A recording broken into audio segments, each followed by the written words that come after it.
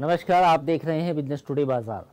आज हम बात करेंगे एक ऐसी कंपनी के बारे में जिसका भारत की प्रगति में बड़ा योगदान है। साल 2023 जा चुका है और 2024 में ये कंपनी क्या करने वाली है, आज हम इस पर बात करेंगे। साथ ही आपको ये भी बताएँगे कि साल 2023 में इस कंपनी ने ऐसा क्या किया, ऐसी कौन सी इमारतें बनाई जो सदियों तक भारत की प्रगति की गवाह बनी रहेगी। जी हाँ हम बात करते हैं एक ऐसी कंपनी की और ये कंपनी कौन से ग्रुप की है तो ग्रुप भी बता देते हैं। तो ग्रुप है टाटा ग्रुप टाटा ग्रुप की इस कंपनी ने भारत में काफ़ी बड़ा योगदान दिया है और टाटा ग्रुप भारत का सबसे पुराना और बड़ा कॉरपोरेट घराना है और आधुनिक भारत के निर्माण में इस ग्रुप की काफ़ी बड़ी भूमिका है और कई बड़े प्रोजेक्ट्स जिसमें अयोध्या का भव्य श्री राम मंदिर और साथ ही लोकतंत्र का मंदिर, जिसे संसद भवन भी कहते हैं, का निर्माण भी इसी कंपनी ने किया है। 105 150 साल से इस ग्रुप ने कई क्षेत्रों में बेहतरीन प्रदर्शन किया है और कंपनी का नाम है टाटा प्रोजेक्ट्स। कंपनी ने नए संसद भवन के प्रोजेक्ट को जीतने के लिए सितंबर में 2020 में एलएनटी को पिछाड़ा था। यानी कि इस दौड़ में एलएनटी भी शामिल थी, लेकिन ये हिस्से किसके आया? टाटा प्रोजेक्ट्स के। तो टाटा प्रोजेक्ट्स इंजीनियरिंग, प्रिक्योरमेंट और कंस्ट्रक्शन के बिज़नेस में शामिल है। इस कंपनी ने एल की जो बोली थी, वो करीब आठ सौ पैंसठ करोड़ रुपये थी। जिसके मुकाबले आठ सौ इकसठ करोड़ में ये प्रोजेक्ट जीता था। नया संसद भवन का भवन बनाने का कॉन्ट्रैक्ट भी इसी कंपनी के खाते में गया था और संसद की नई बिल्डिंग के उद्घाटन के कुछ महीनों बाद टाटा प्रोजेक्ट्स के बनाए गए नए संसद भवन ने 2023 में ईएनआर ग्लोबल बेस्ट प्रोजेक्ट भी अवार्ड भी जीता।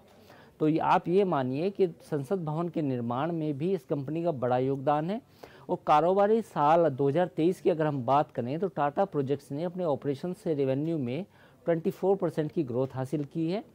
साथ ही इसके अलावा कंपनी के पास 220 से ज़्यादा अभी मौजूदा प्रोजेक्ट्स हैं। और कंपनी का ऑर्डर बैकलॉग अगर हम बात करें तो वो करीब अड़तालीस हज़ार करोड़ रुपए का है। हालाँकि कंपनी ने कारोबारी साल 2023 में आठ सौ छप्पन करोड़ के घाटे का घाटा दर्ज किया है, लेकिन जो प्रोजेक्ट्स का लाइनअप है, जो कंपनी की बिल बुक है, वो काफ़ी लंबी तगड़ी है। अब हम बात करते हैं कि टाटा प्रोजेक्ट्स किन प्रोजेक्ट्स पे काम कर रहा है। तो आइए अब हम आपको विस्तार से बताते हैं। टाटा प्रोजेक्ट्स भारत में 30 से ज़्यादा बड़े कंस्ट्रक्शन प्रोजेक्ट पे फ़िलहाल काम कर चुका है और जिसमें नए, जिसमें नया संसद भवन है, होसूर में टाटा इलेक्ट्रॉनिक्स की फैक्ट्री है और डेटा सेंटर है, पनवेल में हीरानंदानी फॉर्चून सिटी है, नोएडा इंटरनेशनल एयरपोर्ट है।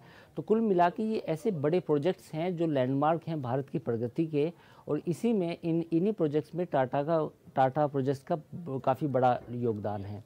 अब हम बात करते हैं एलएनटी की।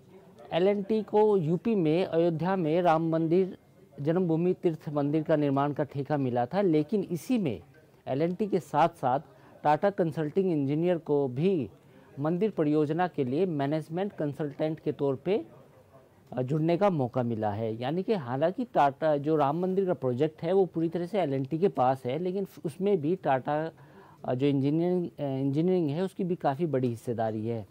साथ ही टाटा कंसल्टिंग इंजीनियर्स के साथ अलावा जो टीसीएस है वो भी एक बड़ी भूमिका निभाएगी। तो कंपनी ने 2023 के लिए करीब ग्यारह करोड़ का कुल रेवेन्यू जनरेट किया था। इस कंपनी के हम बारे में बता दें, और कंपनी ने घरेलू कारोबार में करीब बासठ प्रतिशत का योगदान है।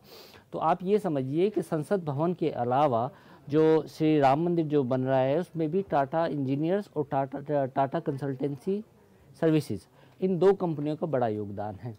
तो साल 2023 के बाद 2024 में जब भव्य श्री राम मंदिर का निर्माण होगा तो उसमें दो बड़ी कंस्ट्रक्शन की जो दिग्गज कंपनियाँ होंगी उसमें से एक एल होगी और एक टाटा कंस्ट्रक्शन और टाटा प्रोजेक्ट्स होंगी।